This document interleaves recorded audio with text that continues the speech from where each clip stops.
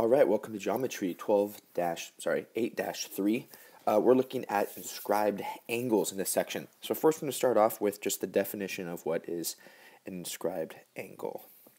And an inscribed angle is going to be, and you can write this in your book, an angle whose vertex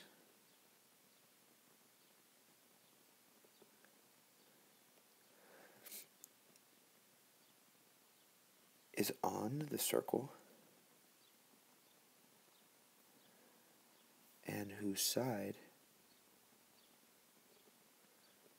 sorry and whose sides are chords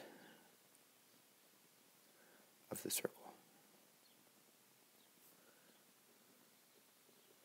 Let's go through that again. So, an inscribed angle is an angle, okay? So it's an angle whose vertex, so the vertex, remember, here's an angle, okay?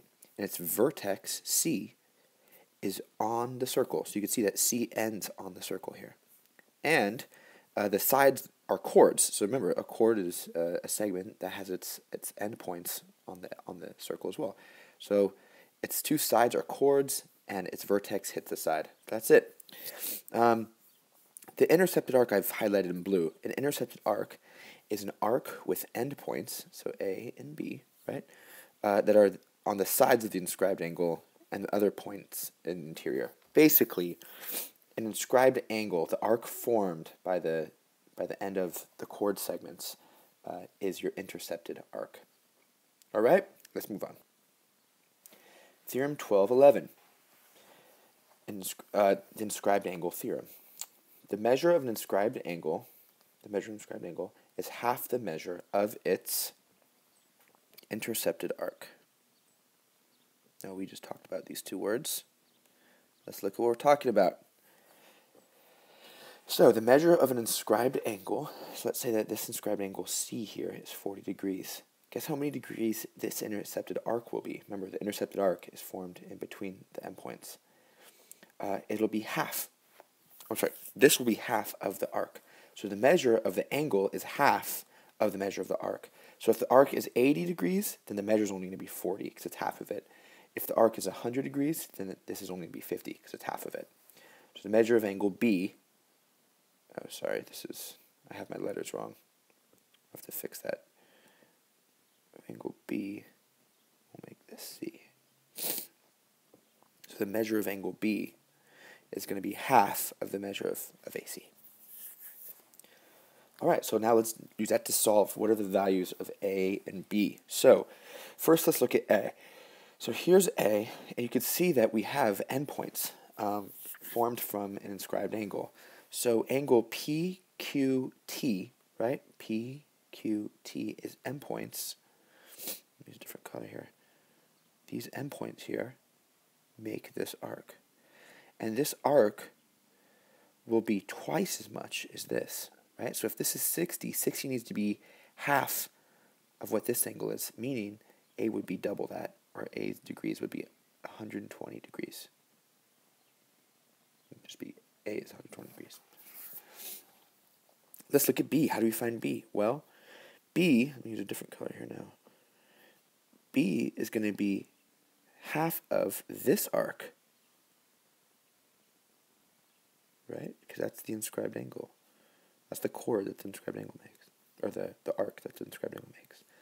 So how long how many degrees is this? Well, it's 30 for this segment plus 120, meaning this is going to be 150 for the whole, the whole thing is 150. And half of 150 is what B would be, so B is going to be 75 degrees. That easy. All right, let's move on.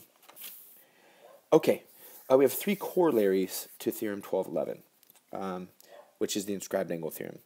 So first, so first says oops, that's not what I meant to do. Here we are.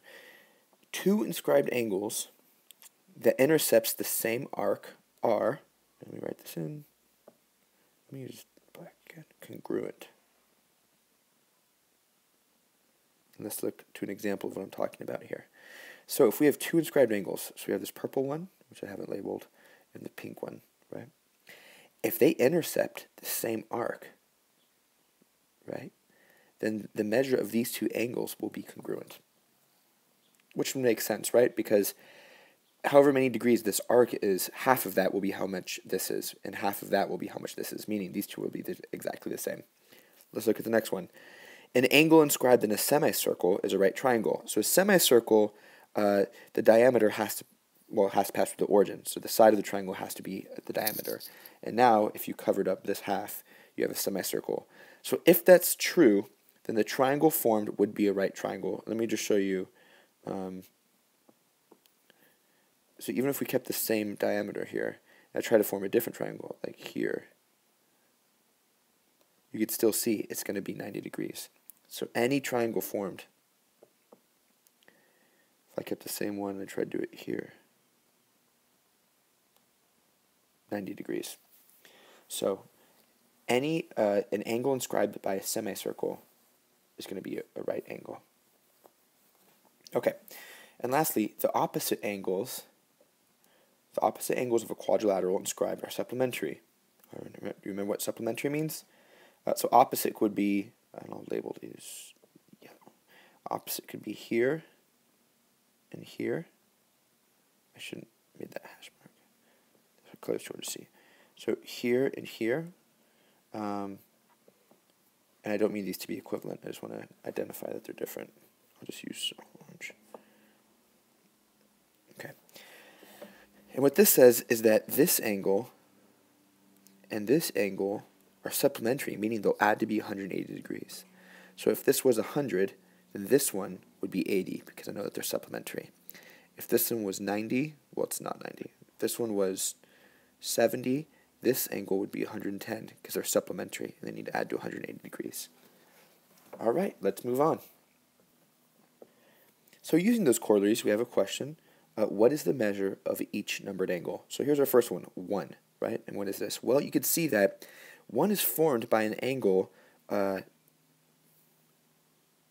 an angle that's inscribed by um, a semicircle. Sorry, a semicircle. So that means that 1 must be 90 degrees. So angle 1 is 90 degrees. That was from corollary 2. How do we figure out angle 2? Hmm. Well, if we look carefully, we can see that angle 2 forms this arc. That inscribed angle forms this arc. And guess what also does? This angle does. This also forms the same arc. And we know that uh, if two inscribed angles that intercept the same arc are congruent. So angle 2 must also be 38 degrees. Piece of pie. Theorem 12, 12. This states, the measure of an angle formed by a tangent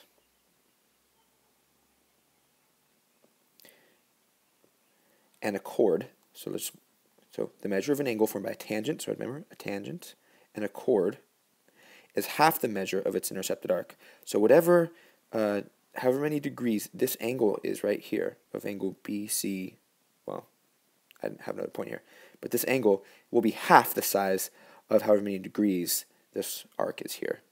If we went the other way, however many degrees this is, is formed by a chord and a tangent. However many degrees is, it's going to be half of the arc present here. So let's look at a problem. In the the left, SR is a tangent, so here's our tangent um, to the circle at point Q. Uh, and here's a chord, PQ, right? So we know that, um, well, let's see.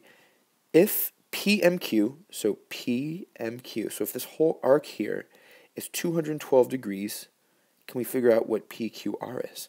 Well, okay, so if this is 212, that means that this angle here that this angle will be half of 212. So we know that um, the measure of angle PQS would be 106 because it would be half of 212. Now we know that SR is a line and that all straight lines have 180 degrees. So 180 degrees subtracted from, and we're looking for the supplement here, right? The supplement is what we're trying to find. What is the measure of, of PQR? So PQR will be the supplement to 106. So 180 minus 106 will give us what we're looking for, and that is 74 degrees equals the measure of angle PQR. Easy as that. Okay, good luck on your bookwork, and I'll talk to you next time. Thanks, bye.